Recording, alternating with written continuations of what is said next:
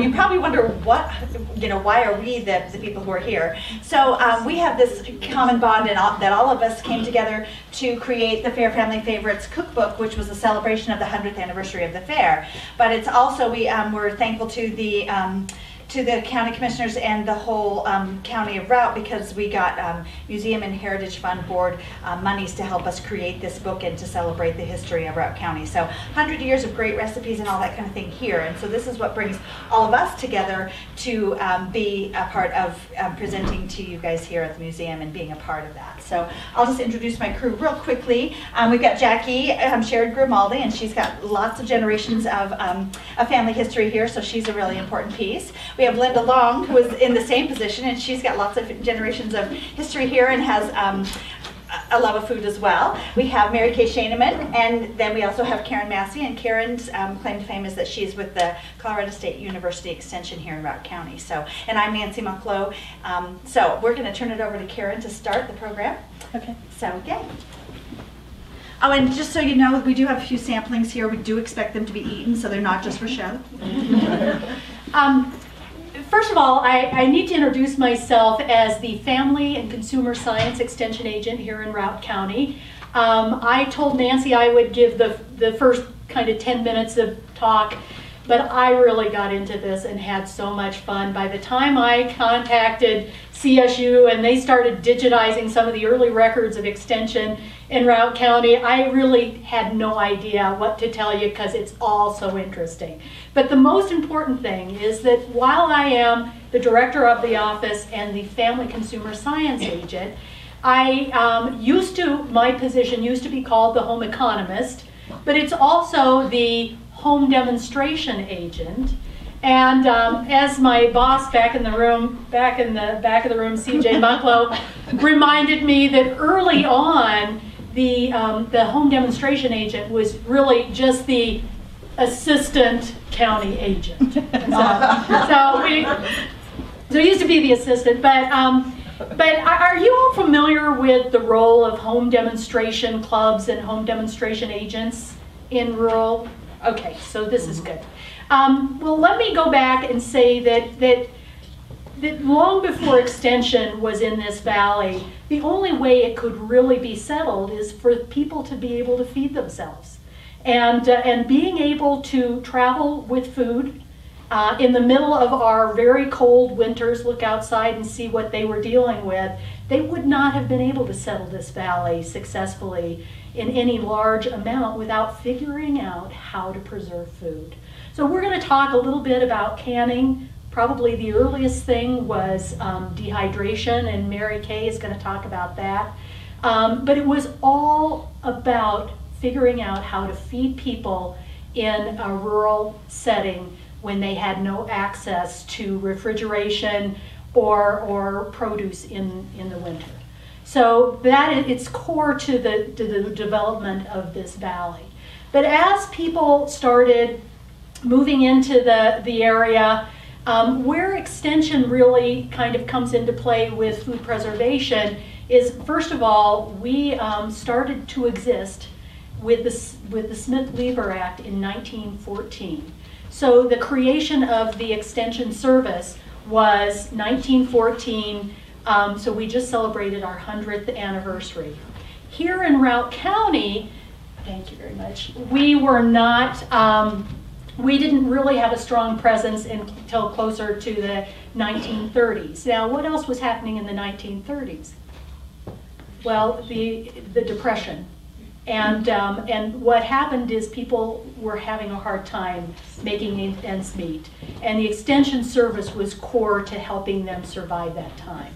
At that same time, they did a number of studies um, asking farm women what they needed. And what they found, and I'm going to just kind of look at my notes here, what they found is that when they surveyed women in rural United States, they were lonely, they were isolated, they needed some kind of a social and educational opportunity. And so, uh, and I'm going to show you some pictures back in that time, and, and I would say they look pretty grumpy.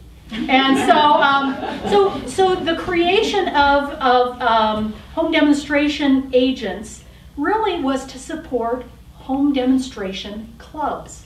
So throughout the valley in um, Moffat and Routt County and across the state, they started forming these small groups of women that would meet monthly. And they really wanted to gain more skills. So they would bring somebody from campus. At the time, it was Colorado State College. Was at Colorado A&M at that point? Anyhow, it was our land grant university that is now Colorado State University. And they would send, they would teach the skills to the home demonstration agent. The home demonstration agent, then her job was to travel to all of these clubs and teach them skills. So as I go back and I look at some of the really cool historic documents, now I brought some of the ones that are still in our office go back to 1956, but the ones prior to this have been given to the library in um, Fort Collins at, on campus. And, um, and they did a rush job and digitized some of them. And some of the things, and I'll just look at those, some of the things I discovered, first of all, from a report that was done in 1929. Now, at this point, there wasn't a home demonstration agent here in, in Routt County. There was an agent that covered both Routt and Moffat County. And this is what she said. A lack of information concerning normal diets and the lack of water, short growing season, and other problems confronting families which have homesteaded in northwest Colorado have resulted in malnutrition in many homes. Currently, 61% of 4 H club members are underweight. Um, so, as a response to that, they developed these clubs. In the first year of developing the clubs, there was one in Trull, Twin, Twin Mesa, uh, Mesa maybe, Clark, Lador, Great Divide. Those were the initial clubs. And I, my guess is many of those were over in the Moffat County area. Okay, so I'm hearing, yeah. Um, then they also started 4-H clubs with young girls. And these were um, organized around meal preparation with the primary effort uh, to overcome food dislikes and use of more vegetables, milk, and whole grain products. That was emphasized. This is 1929. As a dietitian, I hear people say to me all the time, you nutrition types keep changing your mind. Well, let me tell you, those recommendations aren't any different than what I tell people now. and I find that hilarious. So, um, so the home demonstration agent did a number of, of workshops. In 1930, they, um, they started increasing the number of home demonstration clubs here in Routt County. And then we had the Elk Mountain, the Clark, the Slater, and the Mesa Club. Now, um, I got so excited about this that I went out to um, Casey's Pond on Tuesday and I had a wonderful video interview with Elaine Gay, who is now 96 years of age. She was a member of the Mesa Homemakers Club. Her mother was a founding member of that club. And let me just tell you, she's 96. They continue to get together and play cards. um, and they, they play 500, um, sometimes at the Rabbit Ears Motel, but they still get together. So at some point, many of these home demonstration clubs turned into, um, into canning, or it went from canning clubs to uh, social clubs. But the first, and this is kind of my main point, this is where they learn the skills and they learn how to can. Um, the, in 1933, they had a meeting on budgeting food supply, canning, and drying.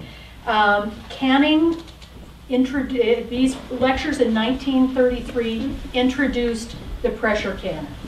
Um, and they did some water bath canning, but they really were trying to teach the frontier women about botulism because they were having a problem by um, having people canning meat in, inappropriately. Now, I should also tell you when I talked to Elaine Gay, she's 96, I said, Did you use a pressure canner? And she said, Oh, my mother would never let me use the pressure canner because it had to be done just right. And truly, when we teach canning classes, the pressure canner has to be done just right. And at that time, her mother was doing it over a coal stove.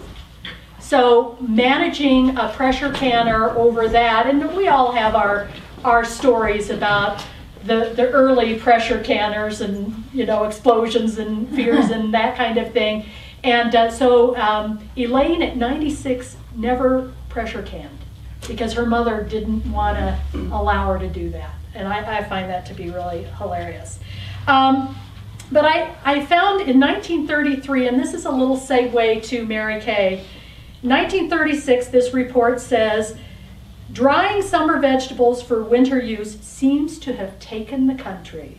Many calls have come from women who have never taken part of extension activities, and drying has proved to be the easiest and surest method to use at altitude, as very few of the women have pressure cookers. Um, I also um, found reference to the fact that they did, at one point, um, uh, take, uh, in 1933, take a survey of all of the canned goods that were coming out. Let me hang on just a minute. All of the canned goods that were coming out of the home demonstration clubs. And in 1933, 120 women reported canning 7,230 quarts of fruits and cherries, 1,241 quarts of jam, marmalade, and preserves, 2,076 quarts of jellies and spreads, and the list goes on. 3,000 quarts of vegetables. It's, it's a very lengthy list, and I will send that around. Um, so I'm, and, and when that, and you can just pass it around, it's a photocopy. I think some of you would find that very interesting. Some of the other, you know, they did cheese making workshops, that kind of thing. But I, I also have this great photo that they sent me, and I, I'm going to send around the names of the people in this photo. This is what I mean by a pretty gr- grouchy bunch. I mean, these ladies just didn't look like they were having much fun. This was taken in 1930. My mother's. This, this was the first meeting of the Homemakers Council. And in this picture should be the chairman, Mrs. Lufkin, the secretary, Mrs. Robinson, um, the uh, Mrs. Hitchens, Mrs. Bartholomew, Mrs. Hudspeth, Mrs. Uh, Woodcock, and Mrs. Becker, who turns out to be um, our 4 or our um, agriculture agent's um, great grandmother. So I'm going to pass that around with the little list that kind of explains who's in the picture, but I actually have no idea who is, who is who. So that's the role, and we continue to have that role today. We um, still do canning classes and try to make sure that everybody's doing it right. As you all know, um, when you can at altitude, you have some very interesting um, adjustments that you need to make. So we uh, continue to work on that particular part of the education process at the Extension Office. So Nancy, I'll Yeah. pass it on. Thanks, Karen, for sharing all your knowledge. We have Mary Kaye Schoenman who's going to talk to us about more of the pre- preserving foods that are, are dried, and so we'll let her take on. Is there something I can help with? No, Okay. it all here. Thank you very much. My name is Mary Kaye Schoenman. I've lived here for a really long time and have had the pleasure of knowing people like Elaine Gay, Helen Sherrod, a lot of the really old timers here. We- I could really relate to a lot of work that they did way back in the day, the food preservation, all that kind of stuff. But put that aside, really, the oldest thing you did, you did was dry foods. Way back in the day, they salted and dried everything. And the first dehydrator came about in France in 1795. So we've come a long ways from that day to now with our uh, dehydrating. There are various methods to use to dry products. You can use a solar dryer. I don't know, has anybody here ever seen one? It uses the sun's ray, monitors humidity and moisture. I know nothing about that. Um, you can dry produce in the oven. I've not had very good luck with it. My kale is like something the horses wouldn't eat. It's really dry and nasty. So we're kind of fanciers, my husband and I. This is one of his uh, projects, really. He does a lot of drying. We've dried everything under the sun. So we've dried a lot of fruits, vegetables, we've dried herbs, we've made beef jerky, and uh, we really have a lot of things in our, it's basically a cellar, it's a cool room that we added onto the house a few years ago. The year-round temperature is 50 degrees. So after you dry your produce or your fruits, we put them in French canning jars and just store them in the basement. And I brought quite a few items today. These are dried onions, which we dried last weekend. Um, we, all he did was dip these in ascorbic acid, which you can get at the health food store or whatever, or you can use lemon juice. It just keeps them from turning brown over time. And they'll, their next stop will be French canning jars, and they'll stay for like a year or two or more. Onions. Uh, here's one of his failures, potatoes that we dried. now, the best thing to do with potatoes, if you're going to dry using a dehydrator, that is, bake them partially or bake them about two thirds the way, then slice them thinly and put them in the dehydrator. And you will have potatoes to add to soups or stews for really a long while. Uh, carrots are really good, and again, this is stuff, you know, when you go to Costco and you buy 500 pounds of carrots and you can only use like one pound. Drying is a very good way if you don't choose to do a whole pressure canning and all that kind of stuff that these guys do. 500 Yeah, we all do, but drying is easier.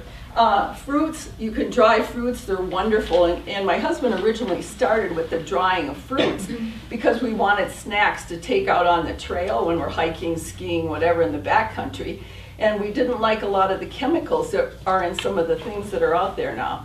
So if you're going to dry, for instance, peaches, wait till you get really top of the line peaches, let's say August kind of thing.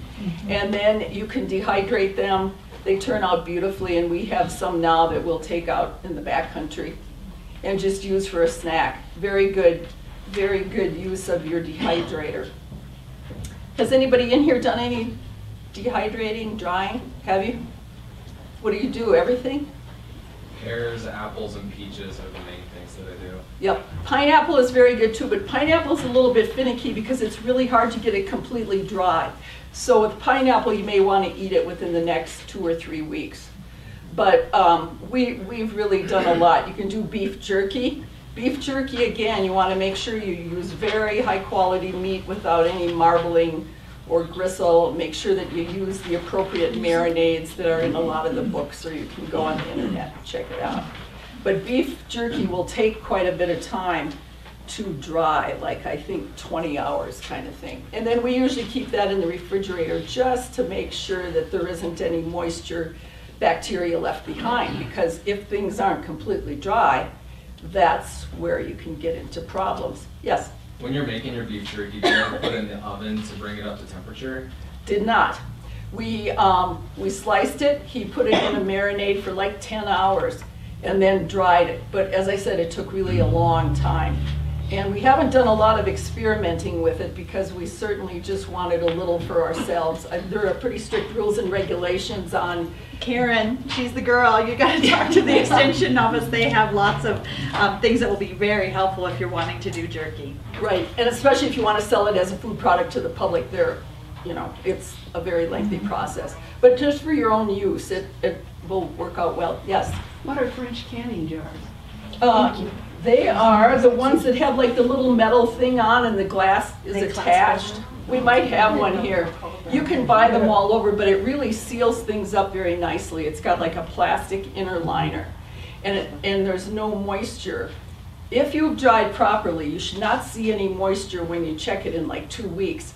If you see any moisture inside that jar, out the door it goes. Uh, the other thing you could do is do like a seal a meal type of thing after you're done dehydrating. But uh, back to dehydrators, you can buy a cheaper one, which is probably like fifty dollars, and that'll dry a lot of things very well. Um, you can do strawberries. Mm, strawberries are more or less like eating styrofoam after you've dried them for a while. You can rehydrate them and maybe put them in some kind of a leather, like we made peach and strawberry leather over there. And that's from produce that's been in the freezer probably about six or eight months. And with uh, fruit leathers, any kind of fruit leathers, you don't really need top of the line fruit. You can use some of your damaged peaches. Whereas like for canning, freezing some of those things, you want to make sure you've really got top quality fruit. Uh, dehydrators, as I was saying, you can buy a cheaper one for like fifty dollars if you're just gonna do this on a small uh, scale, or you can get the great big Excaliburs, I think they're like six hundred dollars, or you can go way up into the thousands if you wanna do drying and dehydrating commercially. And if you're the type of person who doesn't have any patience, dehydrating might not be for you because it's kind of, it's kind of a trial and error thing. And as I said, I've tried a lot of things in the um, oven. I never use the microwave.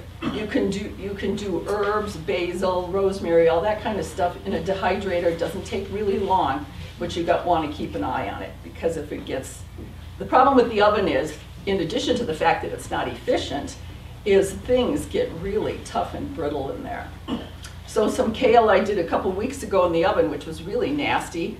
I, um, and does everybody know how to do kale if they want to dry it? Use really good olive oil, I mean really good olive oil, and then sea salt or kosher salt, and then into the dehydrator. The stuff I did in the oven was nasty, so then I re, kind of hydrated it with more olive oil and did it in the dehydrator and turned out beautifully. Yes? So what exactly does the dehydrator do that the oven, obviously the oven doesn't do? Well, it's going to dehydrate at a lower, steady temperature for a longer period of time. The problem with ovens is you cannot keep that low temperature really very steady for a long time. And it's totally inefficient to use the oven, use all your gas or your electricity or whatever. The downside of the dehydrators, they're, they're noisy and they do put off a lot of heat into your kitchen. So what is the temperature about, do you know, for? I, um, I don't even know. Do you know, Linda? 160 degrees. Yeah, Oh, I was gonna say, Yeah. Or less. runs from Yeah. 140-ish kind of thing. Can I just add something?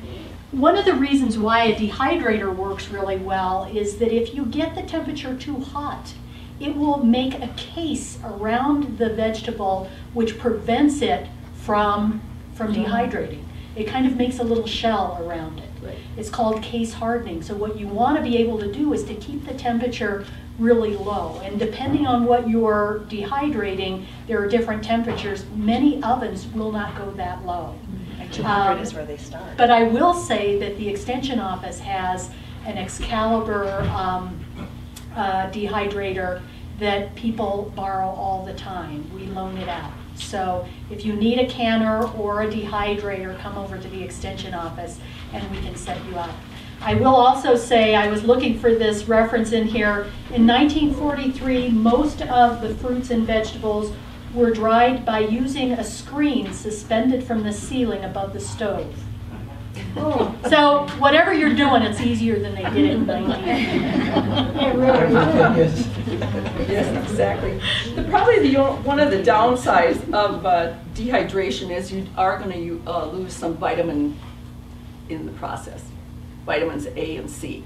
For vegetables, we usually blanch those just a tad, then the ascorbic acid, and then in the dehydrator.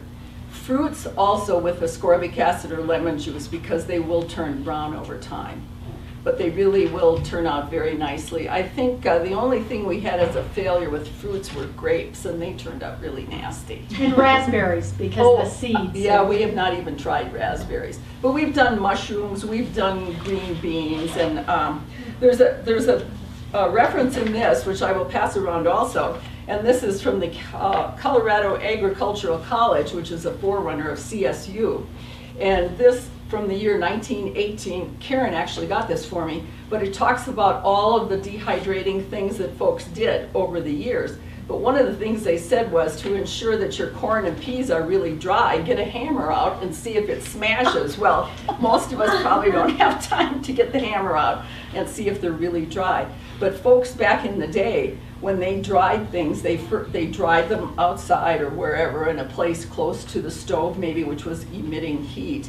And then ran it through the grist mill, and I don't even know what a grist mill is, and then stored them in paper bags, glass jars, or whatever for later, later consumption. There are a lot of recipes in here, but one that particularly did not appeal to me was the cream of pea soup. And uh, I probably won't be making that, but I think the point of the whole thing is they really did a lot with drying, and they used up every single thing they had. Yes?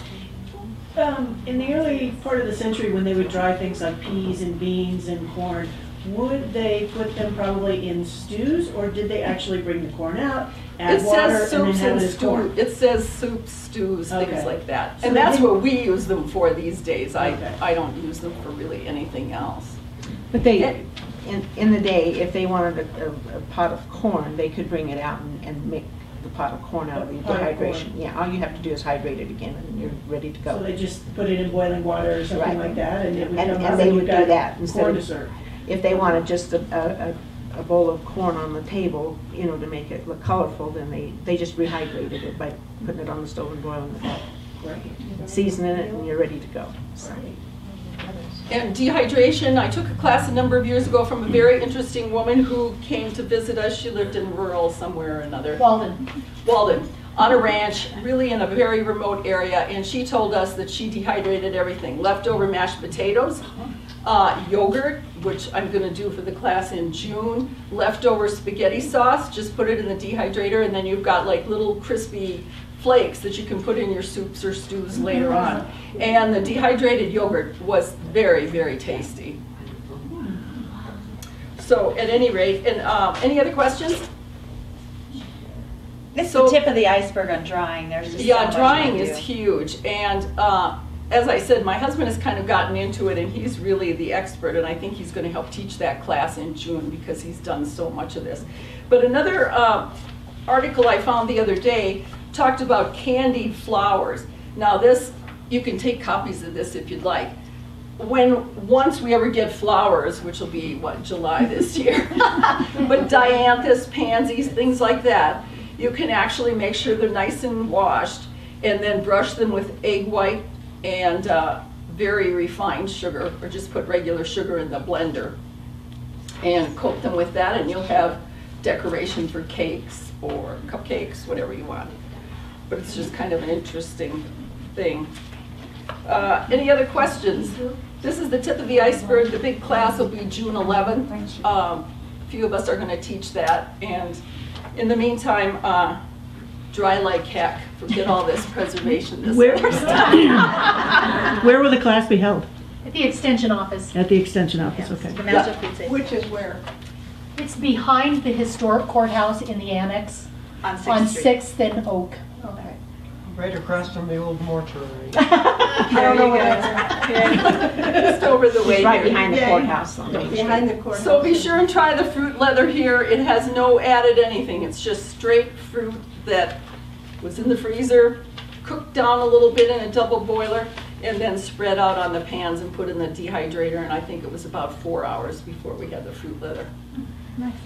Okay, thank you.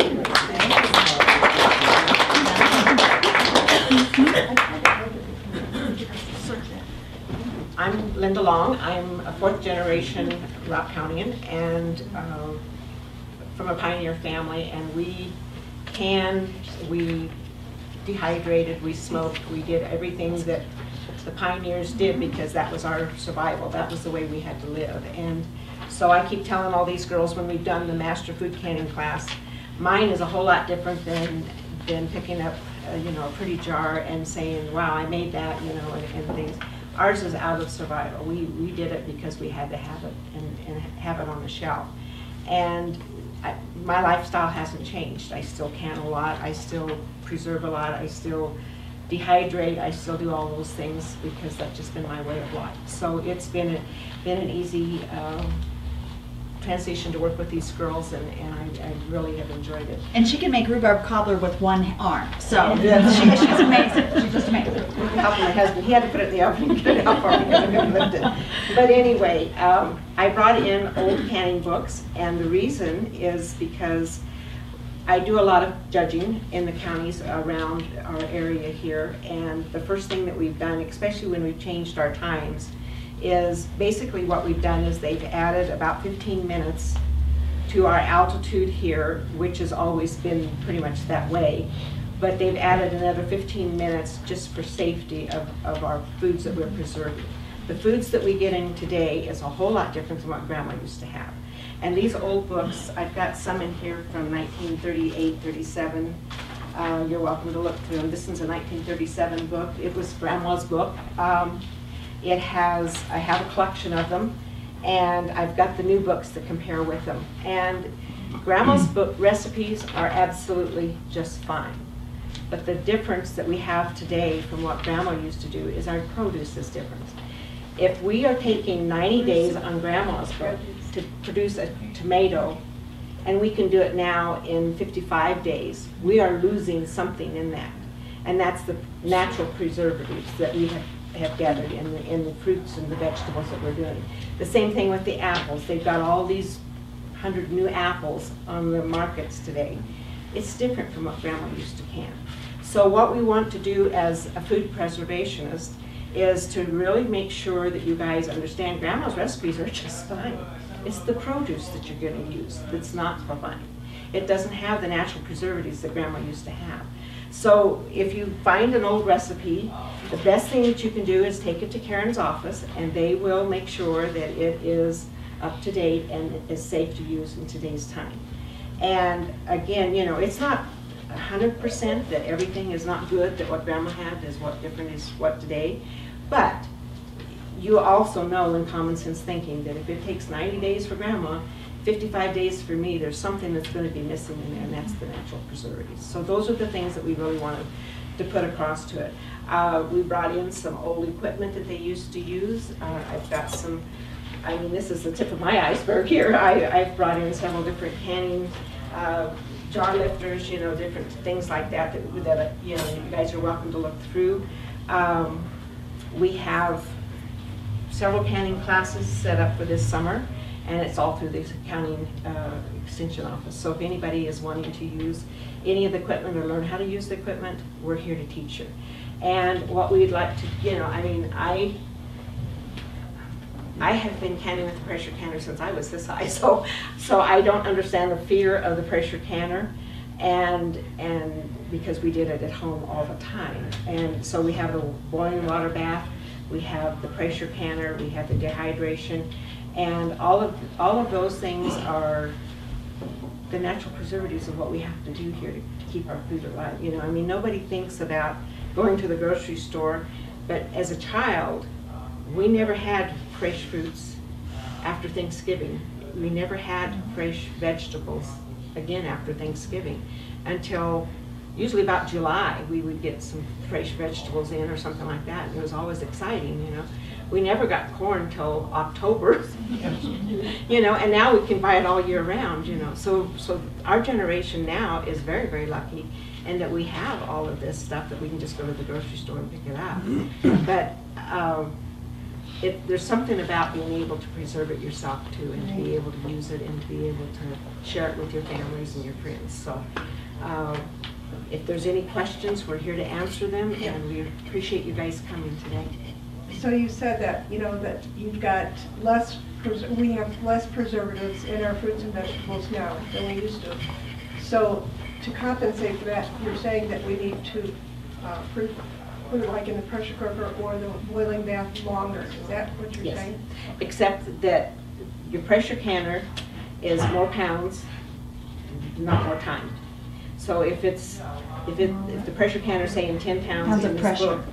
on the pressure can, on your, on Yeah. this piece here, in, in our altitude, you're gonna make it fifteen pounds to make it safe. In the water bath, you're going to, instead of doing, say, forty-five minutes, then you add another fifteen minutes to that forty-five minutes to make it safe for our altitude. May I clarify one thing? When she talks about natural preservatives, um, the, the thing, the pathogens that will cause foodborne illness do not like acid.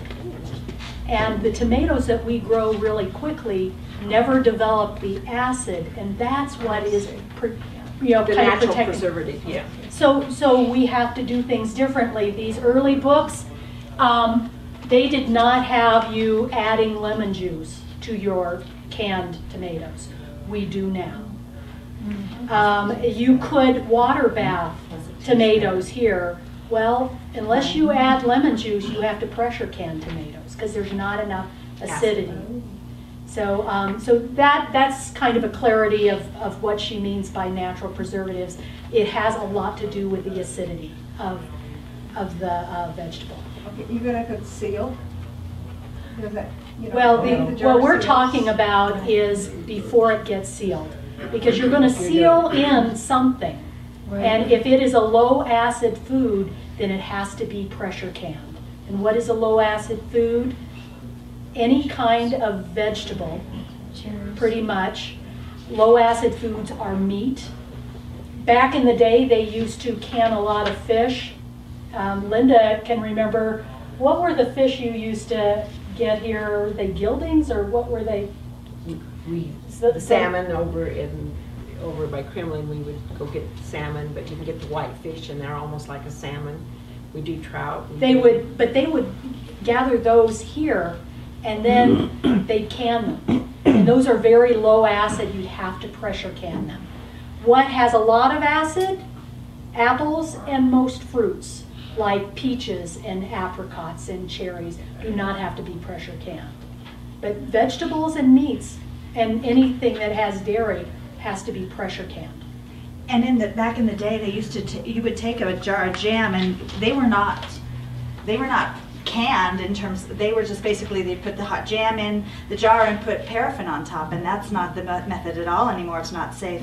And these, those are some of the things that the Bible of, of canning, the Ball Blue Book, has gone from that era to this era where they give you adjustments for altitude and new and different ways to make jam and jelly safe those are the things that, that we're talking about here, because you can put hot jam in a jar and turn it upside down and it will seal, but is it safe?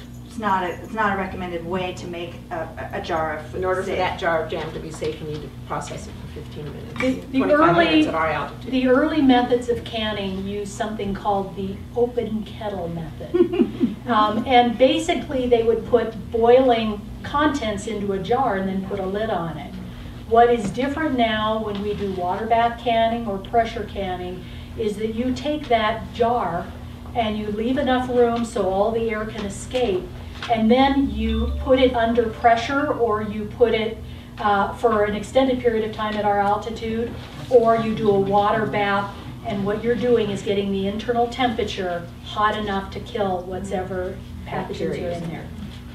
So you, if you do have a ball blue book at home, it should be at least 1990 or earlier or later.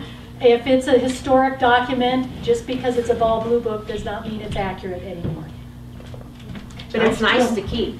I still have a block of paraffin, and I'm hoping that method will come back. We'll make candles in Jackie's house. Jackie, not your lifetime.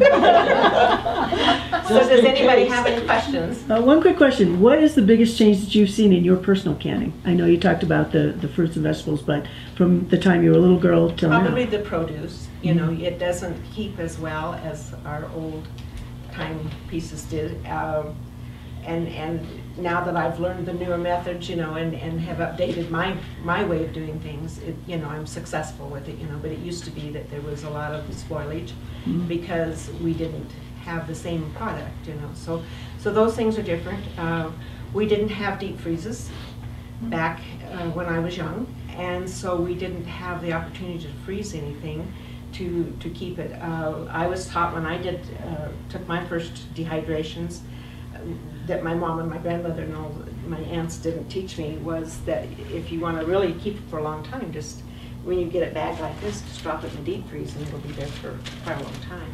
So uh, those were ways that we could, you know, keep preserving it, you know, and things. But uh, the dehydrations was, we, you know, I, I guess you just kind of do it without a second thought, you know. That was the way that when we did meats, we just did it, you know, so, and the vegetables too, so. What's your favorite local stuff, the things that you grow in your garden to, to preserve?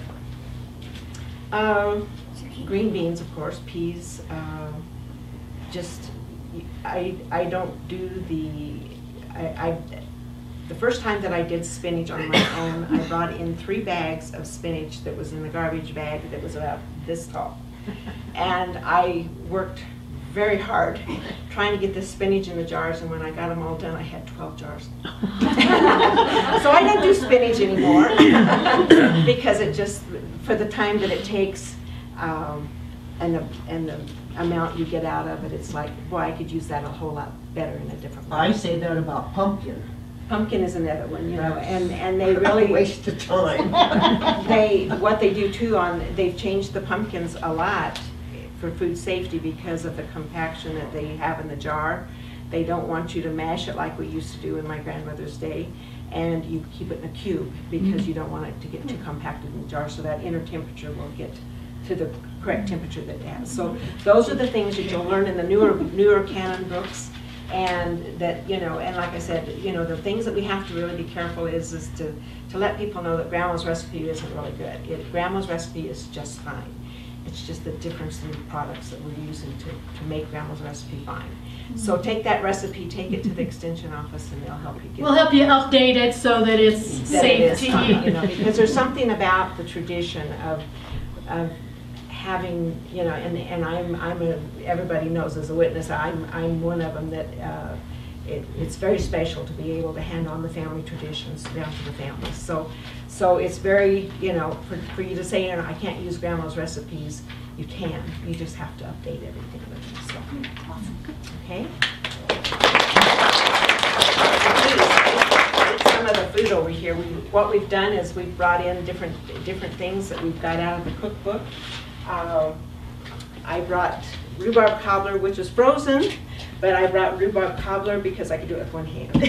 So, so uh, we've got some demonstrations of some canning that we've got in here too and things. So anyway, just look around and, and talk to any of us. We're, we're here to answer the questions. Yay! So as I had said, we came together to celebrate the 100th anniversary of the Routt County Fair, and we put this cookbook together.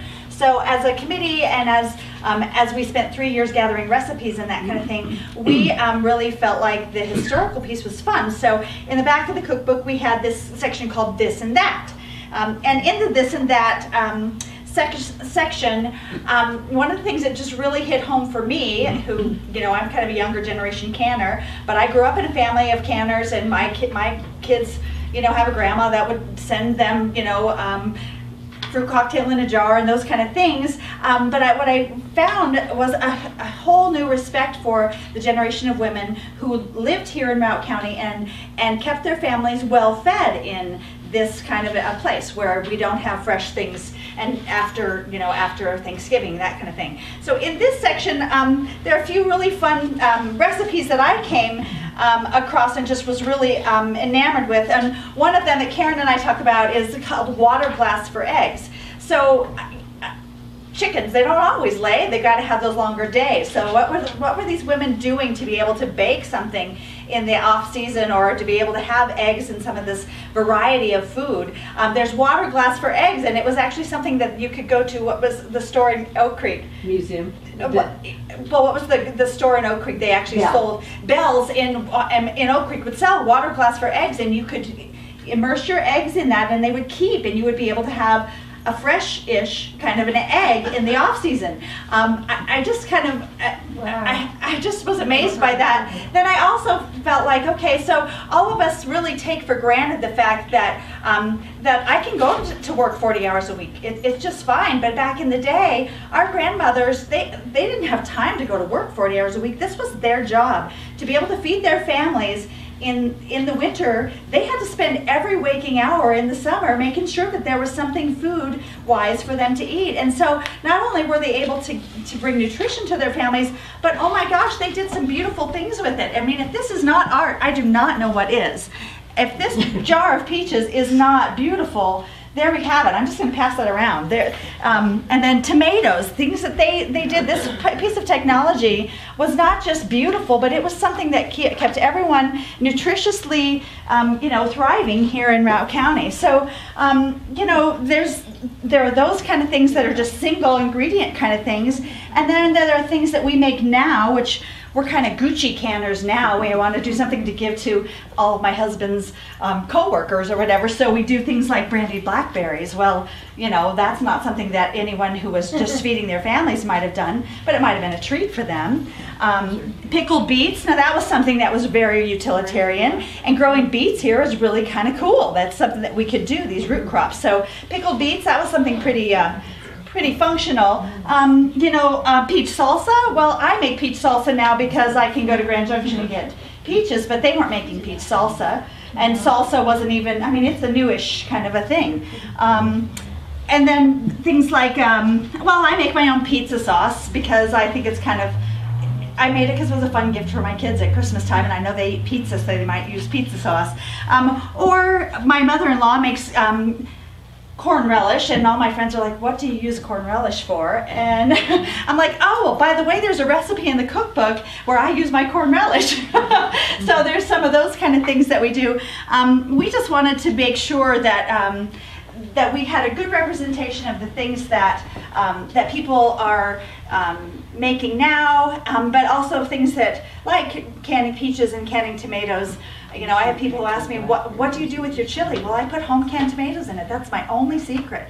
Anything else is not there. So, um, as canners, we're passionate about that. We are passionate about the history of it, and we really do have respect for the fact that these people put up food that so that their families could be fed all the way through. Um, and again, this last chapter of the book is really fun in terms of um, finding. Um, we, we pulled all sorts of things from the, the museums mm-hmm. around the county, and some of them were like lists of daily chores, what's to be done daily before breakfast. Front porch to be swept, to be scrubbed every Wednesday and Saturday, except in freezing weather. Porch chairs to be kept free from dust. Dining room, living room, and reception hall to be dusted. Sweep or run over rugs each day if necessary before breakfast, okay? So, again, I guess what, what we're just saying is that the people, these kind of um, skills and, and gains in technology were really something that we respect those women for, and I totally understand why, um, why this was a job. This was their, you know, their life's work, and they were very um, ex- successful at it. The other thing that I wanted to note, and I don't know what I did with it, um, there's a, a, a recipe for lye soap in there. It's in Some the of these, kitchen. is it in the kitchen? You want to get it?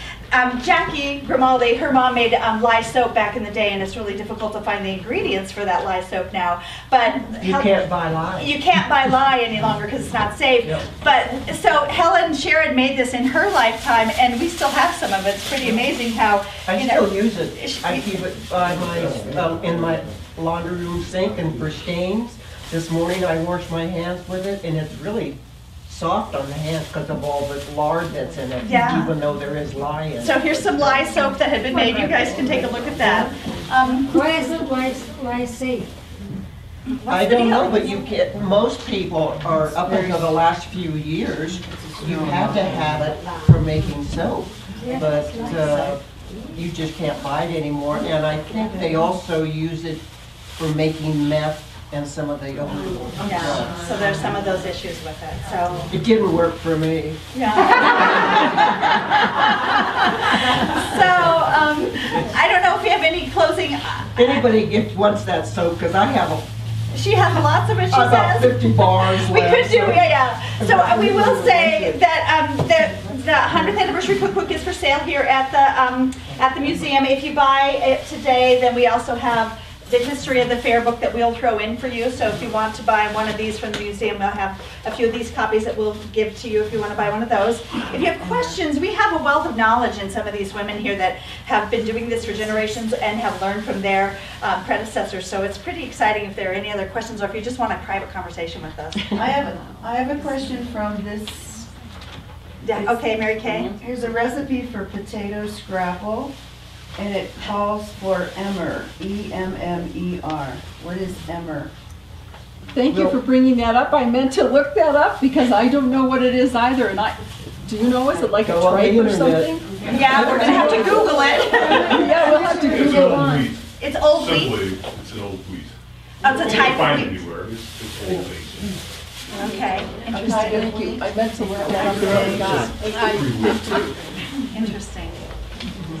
Well, we want to make sure that there's time for everyone to sa- to sample as well. Do you have a question? Yeah, between freezing, drying, and canning, what do you lose the most nutrients doing? Canning.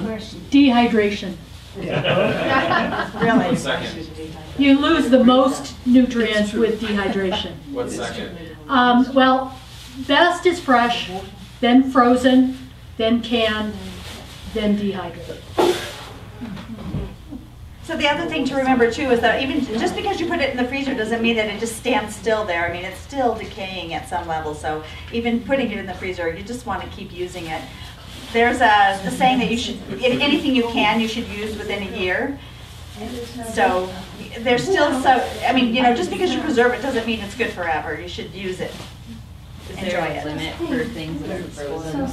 Yes, and I have a whole list in my office that will tell you, depending on what it is, how long it should stay in the freezer. But safe for now.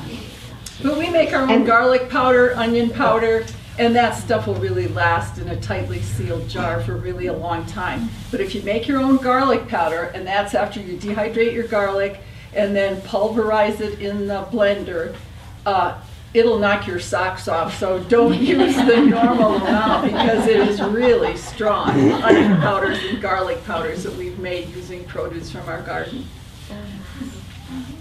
Is that it? Great.